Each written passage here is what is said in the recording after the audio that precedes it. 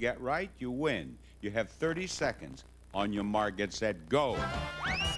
One number missing from every price. $30 for the computer game. 18,800, $10 for the car. Still have 15 seconds. And uh, he is finished. Look it over. You have five seconds coming up here. Are you happy with that? Not particularly. Well, your time's up. So whether you're happy or not, you're finished. Now, let's find out how many does he have right? One.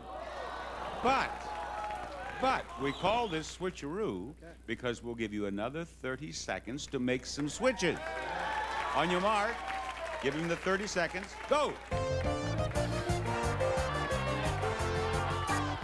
Leaving the car untouched.